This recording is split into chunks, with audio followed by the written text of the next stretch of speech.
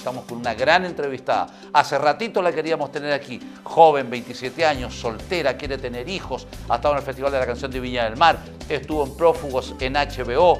Ha estado nominada a los premios Grammy, nada menos. Chilena de corazón, buena moza, se llama Camila. Camila Moreno viene con su guitarra acústica y está aquí en la conversa en el cara a cara. Hola. Mejor imposible. ¿Cómo estás? ¿Cómo estás? Bien, ¿y tú? Gusto de conocerte, gusto de verte así cara a cara.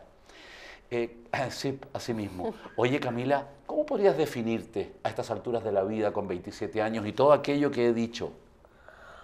Una Ah. autodefinición de Camila Moreno, cantante, Qué difícil. mujer humana. Mujer humana. Así me podría definir como mujer humana. Sí. ¿sí? Sí, pues. O sea, creo que es lo más real. Pero también puede ser un poco extraterrestre. ¿Por qué? Porque la gente es rara, pues. Todos somos raros, ¿no? Sí, un po. poco. Todos Eh, un poco. Cada uno tiene su propio planeta eh, extraño.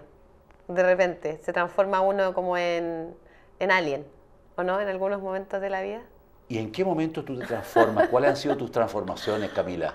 Tus rarezas todas las tenemos. Yo me he Ah, visto no azul hace como 20 años, imagínate algo más raro. sería demasiado Pero si eso es el cara a cara, pues el cara a cara es Eh, pura conversa, pura franqueza, pura confesión. Yo te puedo decir que soy súper neurótica, Sí, ah. ¿sí? Y eso, y bueno, y de repente me he puesto muy neurótica. Bueno, por algo tengo canas también. Tienes canas, mira. Sí, tengo hartas canas. Tienes canas, pero te ves muy bien con esas canas. Gracias. No te las vayas a teñir. No Pero hagas más de lo mismo. Las he teñido rojas, pero o sea, no las canas, sino que el pelo. Ah, y, el, pero- y el corazón cómo lo tienes? ¿Rojo? Sí, pues. ¿Muy enamorada? No, No, ah. no, estoy en el desa- desamor. En el desamor. Sí. ¿Y después de cuántos amores, Camila? No sé, no lo he contado. A ese nivel, ah. No, no sé si a ese nivel. O sea, es que igual hay distintas formas de amor y distintas relaciones. Pues. Yo sé, yo creo que he estado enamorada dos veces en mi vida, ¿Ya? Pero así de una forma. Pero también he tenido muchos otros tipos de amores, amores más, eh, no sé, pues más fantasiosos que ocurren en- más rápido, en pocos días o en pocos meses. Pasadas cortas. Claro, Pasadas cortas. ah. sí. Es que tú Son la, entretenidos igual. pues. tú con la guitarra, con tus ojos, con tu mirada, con tus No, a canas. mí nadie me pesca, si la gente no se me acerca, porque- ¿no? No se me acerca. Desde que tengo la guitarra en la mano, como que tengo menos, menos amoríos que, an- que antes. Antes Así, tenía muchos más. ¿Y cuándo tomaste la guitarra por primera vez? Eh, por primera, primera vez, como a los 10 años, por ahí. Sí, ah. ¿y cómo? ¿En qué circunstancias? ¿Por qué? ¿Para cantar qué? Porque mi madre cantaba canciones de la iglesia y cantaba canciones de Silvio Rodríguez y cosas así, en- como media izquierdosa, eh, católica. Y yo la, yo la ayudaba a cantar. ¿Y la Y- ayudabas cómo? Can- cantaba con ella y hacía voces con ella y cosas así. Y mi mamá me marcó mucho lo que ella me dijo, porque me dijo, tú siempre vas a tener que acompañar tu voz con un instrumento. Y eso me quedó como, una, como un decreto en la vida. Entonces aprendí a tocar guitarra, la guitarra que tenía ella era muy bonita. Y empecé a, como a, a- a ver cómo se ponían los dedos ya. Así. ¿Y tú te acuerdas de la primera canción con tu... ¿Quién te regaló la primera guitarra? Mi papá y mi mamá. Tu papá y tu mamá. También como a esa, edad, como a los 11. Mira, ¿y cuál fue lo primer, qué fue lo primero que tú tocaste así, trataste de sacar en tu guitarra, en esa primera No sé, guitarra? pues haber sido como... Dale. Me dijeron, me dijeron, me dijeron. no me acuerdo, me dijeron. En el reino revés. Algo así. Nada un pájaro y vuela un pez. Dale. No me la sé. No importa. ya no, no me acuerdo de ni una canción.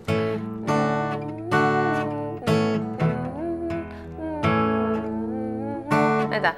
Me dijeron que en el reino del revés nada un pájaro y vuela un pez. No sé dónde están los tonos. No Y- soy buena y- para eso. Y, y te encontrabas con buena... ¿Te gustaba tu propia voz? ¿Te gustaba? ¿Estabas cómoda? ¿Estabas conforme? Sí, Sí, ah. sí, sí me gustaba. Y, y estabas en el colegio, por lo tanto, ¿qué te decían en el colegio, el liceo? ¿Qué te decían tus compañeros, compañeras?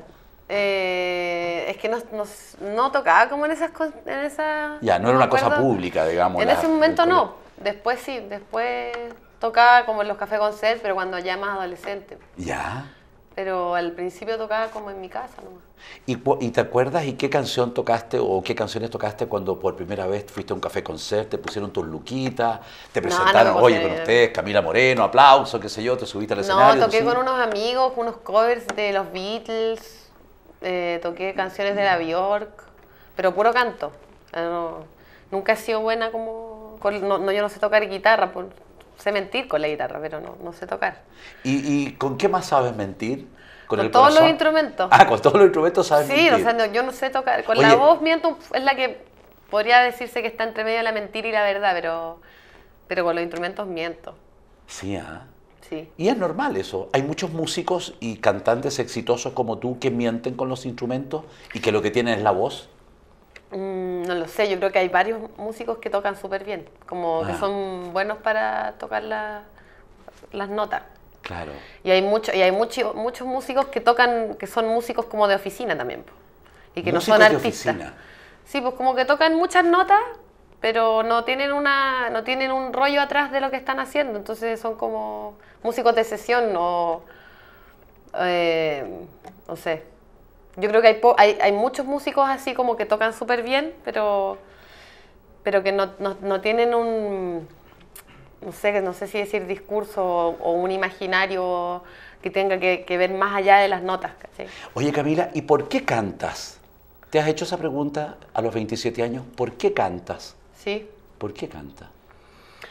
Yo creo que hay como una dimensión espiritual que es muy importante y hay otra dimensión que es como porque es lo único que sé hacer, como que lo- es lo mejor que sé hacer también. Entonces hay una dimensión que es como tengo que hacerlo porque es lo mejor que hago eh, y es lo, es lo que tengo que hacer por una por una misión misteriosa, que no sé, que es como una pulsión, como cuando uno tiene que hacer algo y lo tiene que hacer y no hay como un, un discurso así como intelectual, tengo que hacerlo porque, sino que se- uno siente que tiene que ¿Y hacerlo. tú lo sientes siempre? ¿O de repente entra y sale ese, hace esa sensación? ¿Es algo permanente? Entra y sale, lo que pasa es que el mundo externo está lleno de, de, de- de nimiedades superfluas y de, y de cosas como, como la tele y cosas que tienen que ver con, con las apariencias que te sacan de esa, de esa pulsión que es más como interna. Claro. El mundo externo está lleno de, de chaya. Claro. Pero, el- pero claro, y también es difícil porque yo creo que en la, en la composición, cuando en el momento de componer uno entra fácilmente en ese estado eh, que tiene que ver con la meditación para mí, que tiene que ver con, con el conectarse con un algo que, que- que no tiene que ver solamente conmigo y con, con mi rollo como egótico, así como de yo, yo, yo, yo quiero decir esto, sino que hay algo más allá que es una cosa como, como un cable de la electricidad. Qué buena. Eh, o sea, eres una Camila Moreno profunda, sensible. eh, piensas, ¿tú piensas? ¿Más piensas o más sientes? Más siento. Pienso, pues no, no, no me considero una persona muy inteligente intelectualmente. No sé muchas cosas así como, como que mis cosas son más intuitivas. ¿Y qué es lo más neurótico que manifiestas? Me quedé pegado con eso de la neurosis. Por ejemplo, ¿en qué, en qué se En la pareja se me nota la neurosis. ¿En qué? En la pareja. En la pareja. Ya. Bueno, y te, también el trabajo. te peleas luego. Sí, me gusta pelear. ¿Te gusta pelear? ah? ¿Te gusta pelear? Sí, encuentro. o sea, a no ser que la relación sea muy creativa y que el otro sea muy creativo y que se puedan generar mundos entre- realmente entretenidos y como no mi- mediocres, Ah. tal vez la pelea aminora, pero necesito una energía como potente, como intensa, ¿cachai? Necesitas el combate. Sí, ¿Te de gusta? algún, de, de algún lado. Claro. Pero claro. hay- la gente se cansa al tiro de eso, po. Sí, po. Igual es agotador, obvio. ¿A ti te agota o agota al otro? ¿Te A mí también me agota, a mí me agota más tarde, pero, tam- Claro. pero claro que me agota, pues, sí, Ah. obvio. Ajá. Pero es una cosa que no puedo evitar, yo creo que es como, como ser de personalidad fuerte. ¿Y para qué lo vas a evitar? ¿Qué signo eres? Cáncer. ¿Y eres cáncer? Sí, Ah, sí, ¿ah? ¿por qué? porque el cáncer típico que aparenta como una... da una sensación externa de una persona fuerte, pero en verdad lo único que hace es llorar en su pieza. y es como que, ¿Y tú eres muy llorona? sí, ¿Qué te hace llorar? Demasiado, ¿Qué todo. te hace llorar? Todo. Venir al cara a cara también. Sí. ¿Lloraste toda la avenida para acá? Toda la avenida. No, me hace llorar las películas o como que cuando alguien me dice algo, puedo llorar fácilmente porque me conmuevo Eh, lloro de rabia. ¿Qué piropos te gustan que te digan? ¿Qué cosas lindas te gustaría que te dijeran? Eh, ¿En general? En particular, en particular, en general, da lo mismo. ¿Qué te gusta oír para ti? Cosas que me sorprendan, pues. Dale. No sé si puedo como decirte ah, esta Dale. frase. Por ejemplo. Pero algo como... Linda, preciosa, amorosa, ¿eso te gustaría que te dijeran a cada eso rato? encuentro fome. Ah, fome, ya. Ah, mira, ya, ok, de ahí para arriba. Sí, de ahí para arriba. De ahí para arriba. Sí. Más sofisticado. Claro, es que me gusta, igual me gusta mucho la poesía. Pero la, Ah. no la poesía enrollada, me gusta la poesía espontánea. ¿Cachai? Me Qué gusta. buena. Me gusta que, ¿ah? que, hagan imágenes, que se hagan imágenes con, Ah. el, con el lenguaje. Me encantan las imágenes que genera el lenguaje. Pero bueno, también me gusta la música por eso. Pero claro, es bacán cuando la gente mira más allá de, de lo que parece ser. Pues y en verdad, si nosotros fuéramos como más, más conectados, podríamos cachar que en verdad todos tenemos una dimensión divina finalmente. Claro. Y que no tiene que ver con religiones ni con nada de eso, que es una dimensión como, ¿por qué está, que, que Cortázar lo llamaba el extrañamiento? Como, ¿Por qué un cuerpo? ¿Por qué una mano? ¿Por qué un, unos- un Preguntarse brazo? cosas, ¿ah? Preguntarse. Claro, el extrañamiento de, de ser, de ser uno y de ser otro. Entonces ahí entra la cuestión de la otredad y en, en- como realmente cuando uno ve al otro y decir, ¿cómo será ser el otro? ¿cachai? Que eso a mí me, me alucina eso, como tratar de, de- Sensible la Camila, además de todo. Oye, te invito a una pausa, estamos en el cara a cara de siempre. Cuando cara a cara continúe. que soy como muy, tengo un lado que es un poco insoportable porque estoy todo el rato criticando al otro.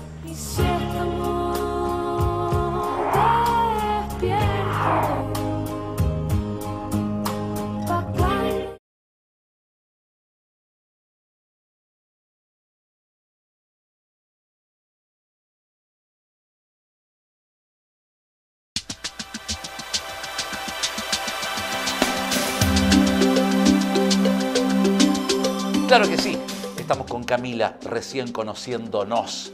Neurótica, inteligente, sensible, cáncer, cantante, compositora, las tiene todas. La primera guitarra a los 11 años se regaló el papá y la mamá. Todo grabado, todo aquí. Y aquí, que es lo más importante. Camila, cántanos, tócanos una canción, probablemente esa que lanzaste hace algunos días atrás. Dale. Ya. A ver, Voy a tocar ¿cómo esta es? canción que se llama Raptado. Somos jurados. ¿Cómo se llama? Raptado. Raptado. Vamos.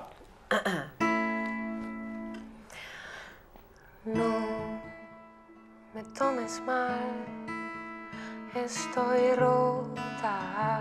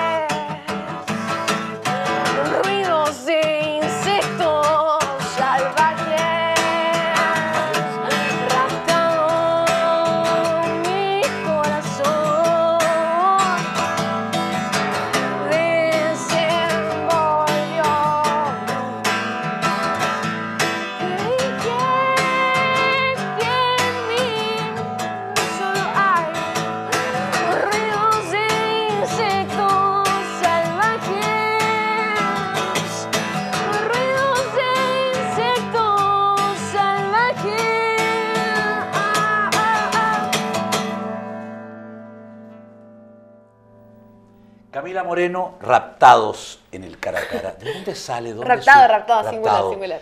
Raptado. ¿De dónde sale? ¿Dónde surge? ¿Cómo, sa- ¿Cómo nace una canción como esta, querida Camila? Ay, esta canción no me acuerdo muy Ah, una de las cosas que me acuerdo es que el coro fue inspirado por un haiku japonés, que es... eh, ¿Qué es lo haiku es un haiku es poesía corta, poesía del deleite. Tiene que ver con, el, con, como con la filosofía zen, entonces todos los poemas son muy cortitos y tienen alguna enseñanza, como alguna reflexión por atrás. Y el poema que inspiró ese se llama, no me acuerdo cómo se llama, pero es Raptado mi corazón por las flores del cerezo, ¿volverá así cuando se dispersen? Queda como una pregunta. Y de ahí, de ahí como que sale el tema de raptado, como eh, esta sensación de cuando lo- se vuelan las hojas o, lo- o las flores del, del cerezo, como esa sensación cuando el corazón se va, ¿cachai? Pero se va de una buena forma también. No es como una forma violenta, sino que es más sutil. ¿Te emociona cada vez cantar cuando lo haces? Sí, algunas veces más y otras menos. Hay veces que me dan ganas de llorar, otras veces que, que estoy más desconectada y que estoy pensando en otras cosas como en la lista del supermercado. Qué interesante. O si no, estoy pensando en algo. Eso, eso no me gusta. Lo, lo trato de, de evitar igual. Como no me gusta estar pensando en otra cosa, me gusta estar vibrando con la canción, con la letra, con, con eso. Claro. ¿Y, y- y en qué momentos de la vida, día, noche, eh, relajo o tensiones, te dan ganas de componer y tomas un papel y un lápiz y, y escribes algo? ¿En, en qué momentos eh, viene ese... En la noche en general. Sí, soy súper noctámbula. ¿Eres noctámbula? Sí. ¿Eso significa dormirse a las 4? A veces. A las 5, depende, igual otras veces a las 5, dices tú. es muy diferente como yo me he relacionado con, con los tiempos desde que tengo, no sé, pues después de que cumplí 25, 26, Ah, pero hace poco entonces. sí, ahí me he puesto más buena para acostarme más temprano, pero antes era así, entre los 16 y los 23, era como todos los días a las 5 de la mañana. ¿Y qué hacías hasta las 5 de la mañana? Leer, escribir, ¿Leer componer, qué? ver ¿Leer qué? ¿Leer qué? Por ejemplo, sí. Jodorowsky. Ajá. Cómics, Ya. en general. Cómics. Sí, soy súper nerd con los cómics, me gustan mucho los cómics. ¿Te gustan mucho? ah? Sí. ¿Y ver qué películas, por ejemplo? Eh, es que mi, yo tengo un padre que es cinéfilo y vi mucho cinearte, yo cuando chica. Qué después, buena. después me di vuelta y me, me rebelé y empecé a ver puras cosas pop. Ya. Y de hecho ya no, no, aguanto, no aguanto mucho el cinearte porque... Y, y de las películas que veías cuando chicas con tu papá, eh, ¿qué películas recuerdas del, del- del gran cine arte? No lo veía con mi papá, yo me metí en el cinearte así como por, por, por la, por la gracia que tenía en ese momento, como el, este imaginario de, de la oscuridad en el arte y los poetas y la performance. Claro. Entonces vi mucho Tarkovsky. Y, y como estas reflexiones filosóficas que no- uno no entiende y que son como raras y como que todo es como complejo. Y ¿Te gusta lo difícil, lo complejo, lo rebuscado? No, ya no. Ahora no, No. pero en un momento sí. Sí. Y lo buscaba. Sí, claramente. Me gustaba pensar cómo habrá sido ser amiga de Vicente Huidobro. Ah. O cómo habrá sido ser amiga de Pablo de Roca o, o de personas que viven, en- que de- deben haber vivido una vida eh, bien peculiar, ¿cachai? Como en otra, en otra época, cuando existía la guerrilla literaria, por ejemplo. Eh, cómo habrá sido relacionarse con personas que estaban en frecuencias eh, mentales y emocionales que tenían que ver con el estar buscando la constante belleza en el presente. Y desde una forma súper exigente también. Claro. O sea, por ejemplo, yo me leo los cómics de Jodorowsky que son, eh, la gente les tiene, no sé, pues puede prejuiciar que son para hombres o que son como, que hablan de cosas como espirituales chantas, pero en verdad tienen un contenido que es súper, que está todo el rato como haciéndote un- una propuesta, un desafío de, ya, pues, tú también pu- puedes ser una persona que busque estas cosas, una persona que vaya más allá de lo preestablecido, una persona que pueda ver la malla de, de la ilusión que propone el sistema y miles de cosas así. Qué buena. Eh, Camila, ¿y cómo recuerdas esa noche en que estuviste en el Festival de la Canción de Viña del Mar? con 18.000 personas ahí encima. ¿Cómo fue para ti? ¿Fue más? ¿Fue menos? ¿Fue distinto? ¿Fue igual? Fue distinto, pero fue distinto porque yo estaba siendo invitada por Claro. un grupo. Sí. Eso era distinto. Era distinto, pero la impresión del cara a cara con 20.000 personas ahí, Fue mucho más tranquilo y como no tan impactante de lo que yo pensaba. Como que fue como, no sé, no sé si fue una cosa mía o como que la gente estaba muy en buena onda.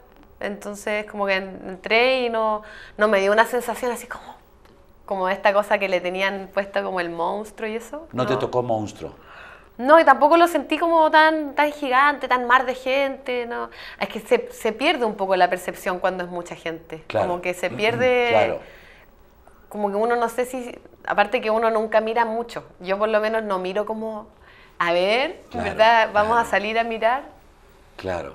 Creo que es como... No se puede tampoco no, estar con las luces salvajes. Claro, una cosa son las Sí. luces que te lo impiden y otra cosa es que uno como que está acá, ¿cachai? Ah. Como que tu visión está aquí- hasta aquí. Sí. Y cuando canta y tratáis de transmitir con lo que estáis haciendo, pero también es, un, también es una forma de actuación en el sentido de, de- de- de incorporar una, una fuerza de un personaje. De un personaje que puede existir dentro de uno, pero, pero sigue siendo un personaje. No- no- no- yo no estoy todos los días de mi vida sobre emocionada y sobre, sobre excitada como estoy en el escenario. Camila, ¿Y qué es lo Sería- mejor de ti? Así nomás. ¿Qué es lo mejor de ti? ¿Y qué es lo peor de ti? ¿Qué es lo mejor de mí? Uy, el sentido del humor. ¿Ya? Tengo harto sentido del humor y Ya. tengo, me gusta mucho como soy infantil para el humor. Creo que tengo un humor sano, como me gusta jugar con niños, hago clases en un jardín infantil y eso me lea el espíritu, como Sí, hacer clases en un jardín infantil y lo paso muy bien. No me cabe duda. ¿Cachai? Los pajaritos, una maravilla. Sí, Pura sabiduría, ¿o no? sí. Tengo hartos hermanos chicos también. Qué buena. Ellos son lo mejor de mí. Y lo peor, Camila. Yo creo que la neurosis. Sí. Incontenible. Es, que soy como muy, tengo un lado que es un poco insoportable porque mm, estoy todo el rato criticando al otro y pidiendo, exigiéndole eso que me exigen a mí los cómics de Jodorowsky. Así, ¿ah? Sí, como que me da lata estar con un compañero que no, que no sea una persona arrojada a la vida, finalmente. Como apasionado, que se mire a sí mismo. Me da lata estar con un loco así fome o que sea como mediocre. Como que se quede los laureles de decir, de tener una vida como, como propuesta por un sistema que para mí es súper precario. ¿Y hay locos apasionados en el mercado? Pocos. Pocos. ¿Pero los hay? No sé. Ojalá. se- Ojalá. Da tu celular. Tenemos fe, tenemos fe. Te- te- la fe no la pierde por No, ningún motivo. todavía no. Oye, No por quiero una pausa, perder. estamos en el cara a cara, estamos con Camila Moreno. Volvemos. No se muevan. Cuando cara a cara continúe. me carga que no exista suficiente preocupación por la cultura. Hay quien se levanta, planta tu placenta,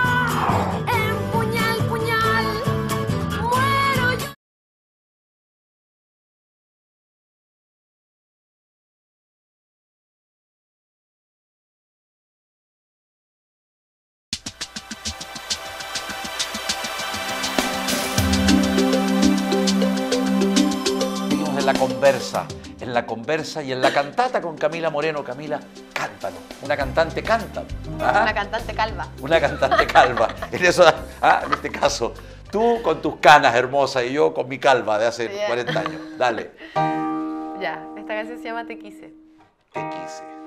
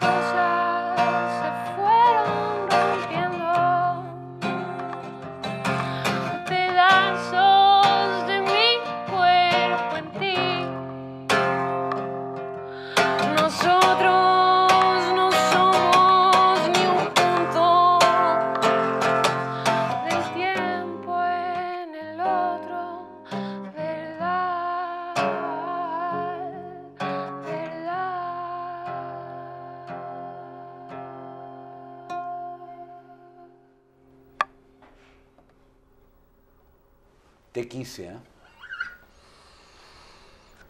Te Sí. quise. Te quise nomás. Te quise nomás, ¿eh? Está clarito. Estás clarita. Está ¿ah? clarita. Estás clarita, Camila. Oye, Camila, ¿y qué rescatas del mundo de hoy, del sistema, comillas? ¿Qué te gusta, qué te carga? Mm, me gusta la me gusta la tecnología en el arte, me gusta la- me gusta el cine, me gusta lo que se ha podido hacer con el teatro, me gusta lo que se ha podido llegar a hacer con la música. Eh, como que creo que el ser humano ha podido con, con esas mismas tecnologías que tienen que ver con, con la electrónica llegar a cosas muy alucinantes. Los computadores. Pero toda ¿Eres tuitera y...? No. No. No. ¿Facebook? Algo, algo. algo. ¿Y qué te carga del sistema? Me carga que la me carga muchas cosas en verdad. Soy Por como ejemplo, un poco muy- dale con la lista. me carga que tengamos una televisión que esté hecha para idiotizar. Creo que es una falta de respeto. Por cierto. Eh, me carga que tengamos un sistema político-social tan desigual y estúpidamente precario en cuanto a los derechos civiles y de todas las personas, desde la educación, la salud. Por cierto. Eh, me carga que no exista suficiente preocupación por la cultura finalmente, porque no como que se tome como una como un entretiempo, como un divertimento, como algo como fuera de lo común, siendo que en verdad eso es lo que alimenta y hace tener calidad de vida a la gente, como poder ahondar en cosas que, que creo que el arte hoy día propone y que siempre en, en la historia de la humanidad creo que está presente como que finalmente tiene que ver con una búsqueda espiritual y con una búsqueda de acercarse más a las emociones y de mejorar las relaciones humanas, de conocerse más a uno mismo, no, no en un cliché, sino que en una verdad, porque el cliché está en todas partes. Pero, bueno, si está en todas partes también tiene algo de verdad. Eh, me carga lo que, se está, lo, lo que ocurre con los mapuches hoy día y con la, en general con los pueblos originarios de- del mundo. Creo que es, un, un- es cercano a una, a una guerra, a una dictadura y, y creo que no se le toma el peso. La gente creo que lo, lo ve como un folclore, así como si fuera de nuestro país, como si este país fuera, como si fuera nuestro. Como de- eso también me, me carga esa cosa de la, de la nacionalización y de la sentirse patriota. Encuentro que me- es un poco patético, así como porque algún- una persona, no sé quién, cómo se llamaba, inventó unas fronteras que no tienen nada que ver con lo que yo soy y le puso un nombre a un espacio. Supuestamente yo tengo que sentirme identificada más encima con, con, con leyes, con gobiernos con los que no, no me siento parte. Camila, ¿tú votas? ¿Has votado alguna vez? No, pero voy a votar. ¿Estás inscrita? No, pero ya no, ya no, ya no importa. Porque ahora es- no estuviste inscrita cuando No. había que estar. No. ¿Y vas a votar? Sí. ¿Y por quién vas a votar? Faltan algunos días para las primarias y todo el mundo sabe, ¿verdad? ¿Por qué lado va tu corazón, tu razón? Hasta bueno, igual yo no soy, no he investigado mucho, pero por, hasta el momento creo que voy a votar por Marcel Clot. Hay, hay un creciente interés por las posturas de, de este candidato que tú mencionas. Es que tiene que ver con, no, una postura de él, yo creo, creo, creo que es una Claro, postura social que hay hoy día que tiene hay que ver interés con en los los chiquillos, especialmente por- Claro. O sea, yo creo que hay una, un- una preocupación social hoy día que por lo menos él la está reflejando. Y creo que en ese sentido es importante como poder hacer un, si es que existiera desde la, desde la política y no desde una cosa partidista, una, un cambio, un cambio pero estructural, no un cambio así, no un maquillaje. Ah. ¿Por qué tiene, en algún momento, antes de la conversa, aquí en, en el cara a cara me decías, Tomás, me encantaría tener hijos luego? Casi con comillas. Sí. ¿Por qué tanto? ¿Qué... Ah, bueno, yo creo que hay hartas cosas que se combinan. Una es que tengo hermanos chicos y me gustan, me gusta compartir con los niños, encuentro que es muy entretenido. Me gusta meterme en ese mundo de los niños de estar jugando y, y que te envuelve una, una rueda imparable de, de- de dejarse llevar. Me gusta el, el tema de dejarse llevar, que los niños lo tienen todo el rato, no, no lo tienen Claro. que pensar, los adultos Claro. sí. Tenemos todos los protocolos. Y eso me carga, me encuentro súper aburrido. Y tengo varias amigas cercanas que son mamá. Mi mamá fue mamá joven y yo siento que se me está pasando la vieja. Pero hoy en día, hoy en día la vida es mucho más larga. Puede ser, no sé. Pero también tengo, no sé, una cosa física, como una sensación irracional en ese sentido. ¿En qué te, qué te enamora en un hombre? Eh, que sea empoderado. Que sea, ¿Dueño de sí mismo? claro, que sea y que tenga, que sea un hombre creativo, que no sea un hombre como preso de sí mismo o de, o de lo que le enseñó su familia o lo que le enseñó la sociedad, que haya tenido como un, un trabajo de, de liberación finalmente. Y por lo tanto que haya, igual no, por ejemplo, no, no, no puedo- hay cosas que soy mañosa, como que si hay un hombre que escucha una música que yo encuentro aborrecible, como que no... ¿Y qué música para ti es aborrecible? No, No podía dejar de preguntarte. Arjona.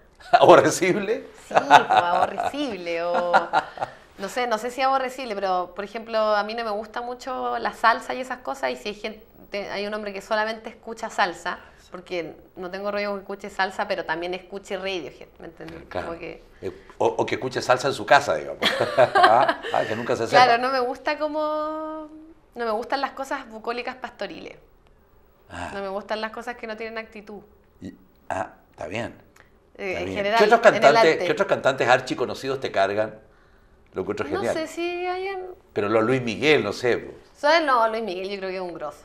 Grosso. Yo creo que, yo creo que hay, hay gente que viene del mundo como de, de la, de la música más que yo encuentro cursi, eh, que tienen, no sé, tienen, tienen bonita voz, tienen perso, tienen cosas entre- entretenidas, pues tienen buenas letras. Tal vez no, se- no las hacen ellos, pero da lo mismo. Claro, es un mérito sí, de los las compran, productores. las compran. O las compran, Las claro. compran, sí. Es como los magos. Compran la magia en Las Vegas. Claro. ¿Ah? Pagan y la hacen. Mira, Sí, pues. no Lógico. sabía. Sí, pues. Hay que volver a Las Vegas. Hay que volver a Las Vegas. Sí, ¿Cuál es, una película. eh, eh, cuál es el- ¿Cuáles son las Vegas de los compositores eh, de las canciones? ¿Dónde, está, ¿Dónde están la fábrica de letras? ¿Existe en Chile, por ejemplo, dos, tres eh, autores de letras buenas para cantar? ¿Me, me sigues la pregunta? Eh, tipos que, que sean creativos en, en esto. De pronto hemos conversado con cantantes, músicos que dicen, mira, primero la letra y después la, y después la música. O de pronto primero la música, algunos, qué sé yo, acordes básicos, y ahí le pongo la letra. ¿Cuál es tu sistema? No tengo un sistema Ah, fijo. Lo que venga. Tengo, yo creo que hay dos. Una, una es como empezar a tirar un acorde y balbucear arriba Ah, de ese acorde, como cualquier cosa. Y, y las palabras se van formando desde ese balbuceo, desde esa como, desde murmurar. Correcto. Y la otra es como tener, tener algo escrito y de repente decir, oh, que algo tiene de musical eso, eso que está escrito. Vamos a ir a una pausa, pero antes quiero preguntarte, ¿qué te inspira más? ¿El dolor, la emoción, la alegría, la soledad? ¿Qué te inspira Hasta el momento el dolor. La alegría no me inspira nada. Para componer, digo. La, la alegría la, la uso como energía, como en el escenario, pero no me inspira para hacer letras. Vamos a a una pausa, estamos en el cara a cara, no se muevan. Cuando cara a cara continúe. Pienso mucho en la muerte. Tal vez me voy a morir pronto. Pienso mucho, Piensa en, la mucho en la muerte. Sí. Tengo los